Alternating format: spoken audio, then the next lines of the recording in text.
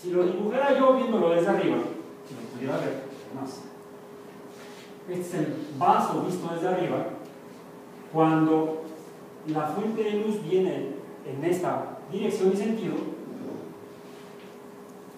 al ser 90 grados o tangente, al, estar, al estar 90 grados a la tangente del vaso, simplemente atraviesa. Aquí se ve el puntito. ¿Sí? En cambio, cuando la hago pasar por aquí, el ángulo a la tangente del vaso es diferente. Y entonces la luz se desvía. Por cierto, esto es agua,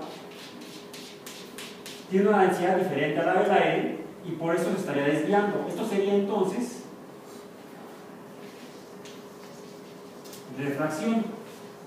Refracción.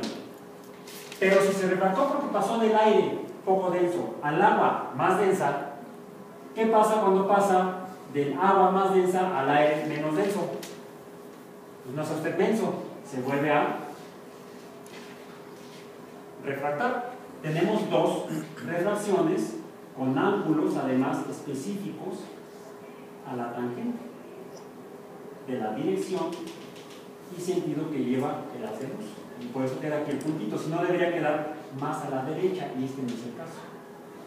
Porque está sufriendo dos refracciones. Porque está pasando en dos momentos de un medio de una densidad a otra, de un medio de una densidad a otra. Entonces, la luz se refracta.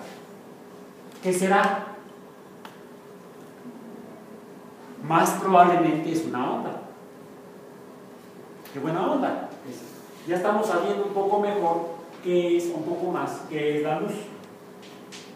Eh, y es lo único que sucede cuando se refracta la luz. Eh, o se desvía. O pasa algo más cuando la luz se refracta. Y eso fue lo que entendió Newton cuando usó la luz del sol para iluminar un prisma, hacer pasar la luz a través del prisma y tratar de ver, de ver qué sucedía con la luz. Él lo primero que vio es que efectivamente la luz se desviaba. De hecho, por aquí en algún lugar hay por ahí un disquito de luz. Déjenme traer otro prisma. Voy a poner este prisma aquí. Y de entrada algo que sucede es que viene la luz, se refleja en la superficie del prisma. Y aquí está la luz que viene del proyector, con mi mano. La voy a poner acá, ahí está. Bien. Es decir, esto es reflexión. Porque viene a esta superficie y aquí rebota con el ángulo igual. Pero al pasar del eh, el ángulo de, reflexión es igual al ángulo de incidencia. Pero también parte de la luz entra al vidrio del prisma y llega a esta otra superficie. Y también se refleja. ¿Ven esa luz rara que está allá? aquí la voy a poner. Eh, ahí está. Esta luz es una luz consecuencia de que la, que, la, fuente, la luz que viene de la fuente de la lámpara atraviesa el vidrio, llega a la superficie final del vidrio y se refleja en esta superficie. Entonces, tengo una segunda reflexión. Pero pasa además algo interesante, algo curioso. Pero no es. ¿Es luz blanca? Tengo luz blanca que sale del proyector, ahí está, luz blanca. La que veo en la pared no es blanca. ¿De qué color es? Morada. Vamos a ponerle morado.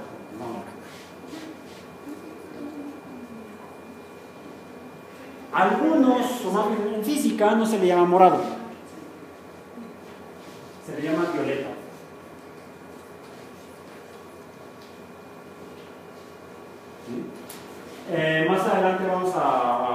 los fenómenos cuando de los temas. Y vamos a volver a hablar de violeta, de rojo, pero de algo que hay más allá de violeta, y de hecho le llamamos por eso ultravioleta. Yo no he encontrado ningún libro de física que hable del ultramorado. Otros también dicen, no, es, es que es lila. Tampoco he leído ultralila. Entonces, estamos en física, es violeta. Igual en el rojo, tampoco he visto ningún texto que hable del, infracolorado. es el infrarrojo. ¿Eso qué es? Luego lo vamos a ver. Y pasa algo más.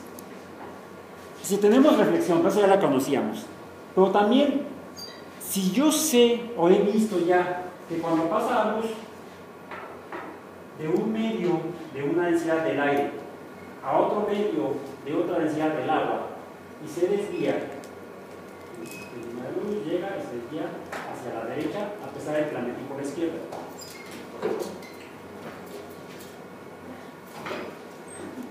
Entonces la luz está refractando y de hecho ese fenómeno de refracción también lo puedo ver de manera más simple, aunque se ve, se puede interpretar distinto, cuando yo, aquí estoy viendo una varilla de vidrio a través del aire, ¿la ven ustedes? Ahora veanla a través del agua. ¿Se ve igual? Se ve como que se corta, ¿no? Es más, hasta por, hay por ahí un cuento africano de un... Eh, no creo qué animal era que estaba sentado junto a un lago y tenía el rabo metido en el lago y llega otro animal y dice, se te rompió el rabo. ¡Ay, qué tierno! ¡Ay, qué ignorante! La ignorancia es tierna, no. Puede ser fatal. Eh, bueno, dejemos, dejemos esos cuentos y veamos otros cuentos. Otra cosa que observó Newton fue que además de que había reflexión, había refracción, efectivamente, pero al, desviarse la luz blanca, al pasar por el prisma, observó los colores del arco iris, del arco iris bíblico. Aquí está. Rojo, anaranjado, amarillo, verde, azul, y en el texto original de Newton, optic, optics o óptica, él escribe índigo. Y luego violeta. ¿Cuántos son? 1, 2, 3, 4, 5, 6, 7 colores. Los 7 colores del arco iris, todavía en muchos lugares yo veo escrito los 7 colores del arco iris, los 7 colores que salen de la luz blanca. Viene luz blanca, llega un prisma y del prisma salen 7 colores de luz. Recuerden que he mencionado que para tener alguna pista de que la explicación que estamos dando desde, desde el pensamiento científico para los fenómenos naturales, es muy útil pensar en la explicación más sencilla, en el modelo más simple. Sucedió con el caso de la, la naturaleza del mundo, del modelo tolemaico, que decía que había un montón de círculos por todos lados, círculos sobre círculos y periciclos y no sé qué tanto más. Demasiado complejo, comparado con el modelo también geométrico de Copérnico, que nada más eran círculos concéntricos, salvo que haya algo más como los satélites de Júpiter girando alrededor de ese otro objeto. Pero alrededor del Sol, todos los planetas estarían girando en círculos. No habría muchos más que estos. Era un modelo más simple. Diríamos incluso, apelando a otro campo del conocimiento humano, más bonito, apelando a la estética. Por un lado, a la estética, y el otro cuál era? la rasuradora de Ockham. La navaja o rasuradora de O navaja de Ockham, que dice que la explicación más simple es probable que sea más cierta. Y lo simple es bello. Suele ser comúnmente que lo simple es bello. Eh, hay otro aspecto cultural que es importante mencionar en Newton. Newton, siglo XVII-XVIII, finales del siglo XVII, muere a principios del siglo XVIII. Vivió 85 años Newton y nunca se casó. Por eso pudo hacer mucha investigación científica. Y una persona que tenía un perro que se comía sus apuntes. Eh, bueno, tengan cuidado con sus perros. Mis hijas nunca se han comido mis apuntes.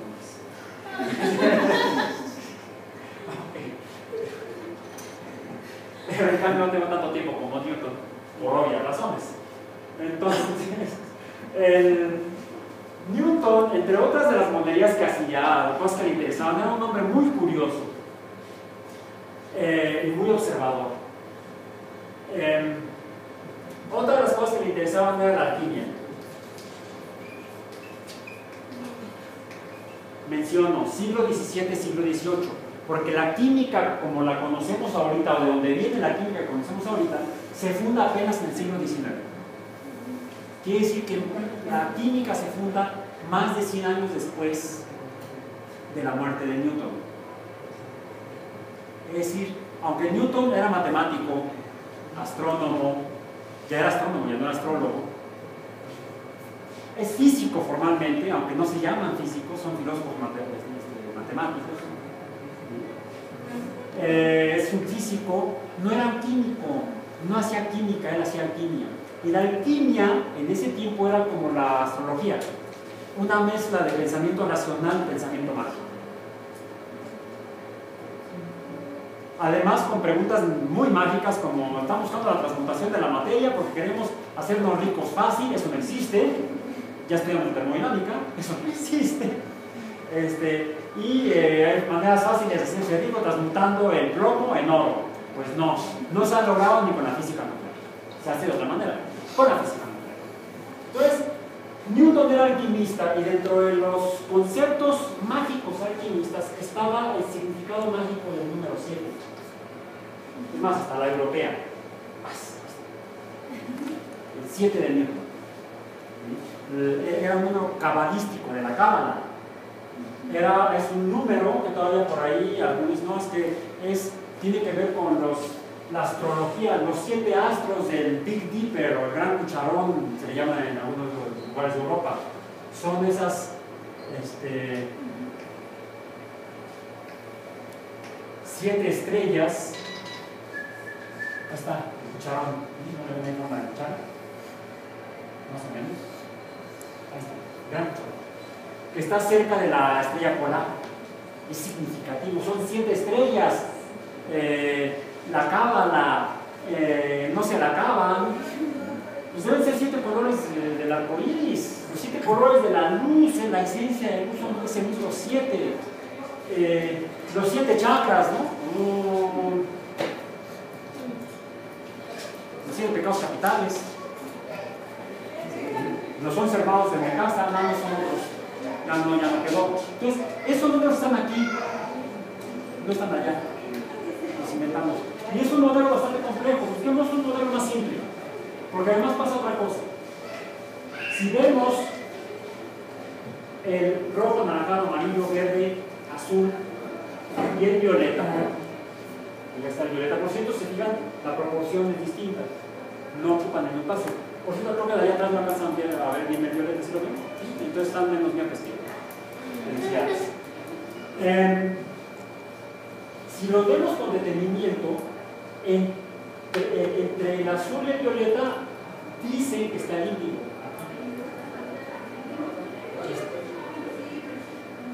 Porque no es ni azul ni violeta, es una cosa intermedia. Si nos fijamos con detalle, vamos a ver una zona similar entre el azul y el verde. ¿Cómo le llaman?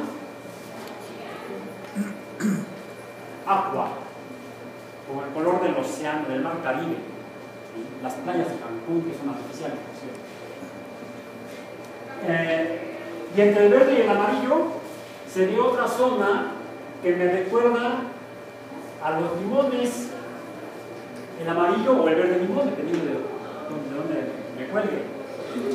Y si me voy hacia el entre el anaranjado, el amarillo, el anaranjado y el anaranjado y el rojo voy a encontrar zonas de transición similares. Entonces, a ver, esperen. Si el índigo es un color, como los otros seis, entonces ¿por qué la discriminación contra el agua, el limón? Ya no serían seis o siete, serían ocho, nueve, diez. ¿Cuántos quieren? Como dicen en las computadoras, este monitor es de 50 millones de colores. No son 50 millones de colores. Son las pequeñas regiones intermedias entre los... Si busquemos el modelo más simple. 1, 2, 3, 4, 5, 6. Papas. Y además, hay algo que no aprendí en la física. Incluso algunos físicos me regañan porque lo digo dicen que no es física. Entonces, ¿qué es? ¿Cierto? Lo estudié en pintura. Estética, que son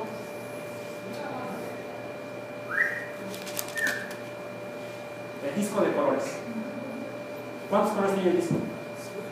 Seis. Y además son complementarios. Tengo aquí el violeta, luego el violeta sigue el azul, el azul sigue el verde, luego el amarillo, luego el anaranjado y luego el rojo.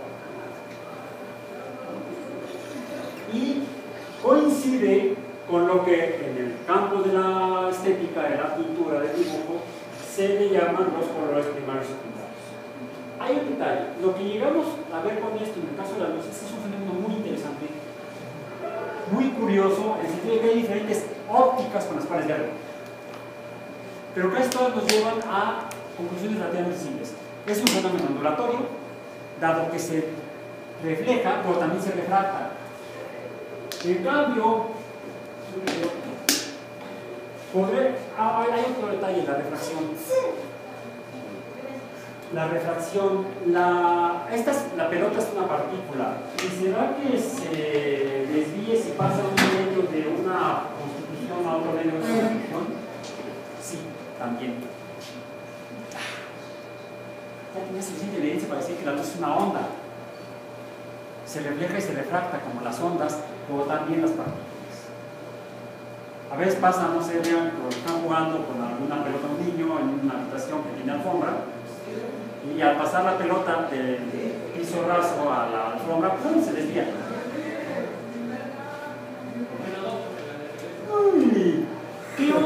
Podrá tener la luz que me permita distinguirla de la propiedad de, de la naturaleza de ser una onda?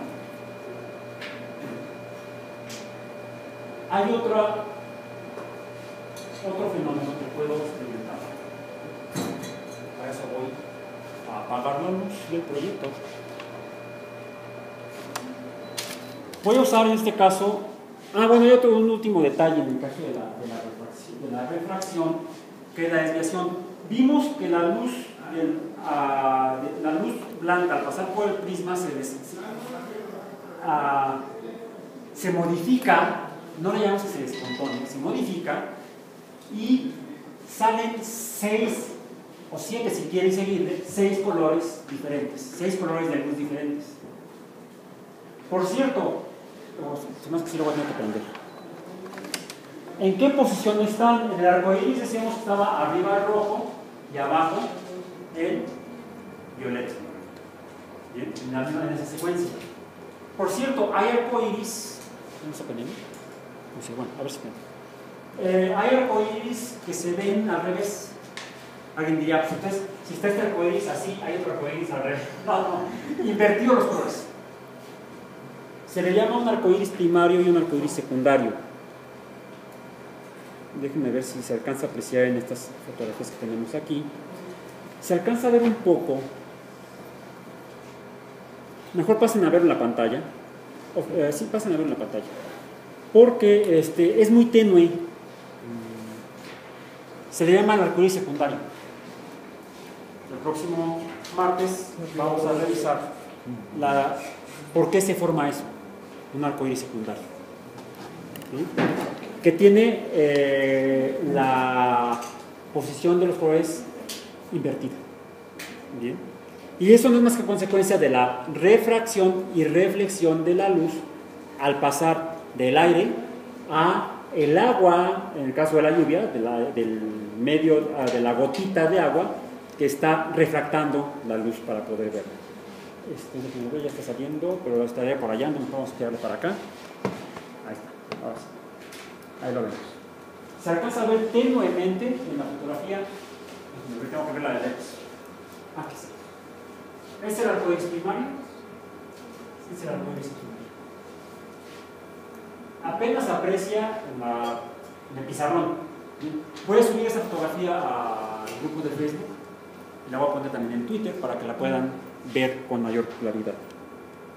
Eh, de hecho, por cierto, en esta fotografía más grande, el, fotógrafo que la tomó se ve el arco iris más completo, más, el, el arco más completo, y alcanzo a ver en esta esquinita el arco iris, en esta, está la fotografía, en esta esquina alcanzo a ver el arco iris secundario. Parece que el fotógrafo no sabía o no sabe que existe ese arco iris secundario. También voy a subir esa para que la comparen. Aquí un ejemplo de la refracción. del dedo de un jugador de fútbol americano. O puede ser un basquetbolista también. No sé si alguno de ustedes juega basquetbol y tenga los dedos igual de chuecos. Mi esposa sí los tiene. Bueno, este sería otro ejemplo de la reflexión. No es que tenga un gato siete vidas, más bien son siete espejos, o seis espejos. No, realidad son tres, son... ¿Cuántos espejos? Creo que son cuatro. Son cuatro espejos.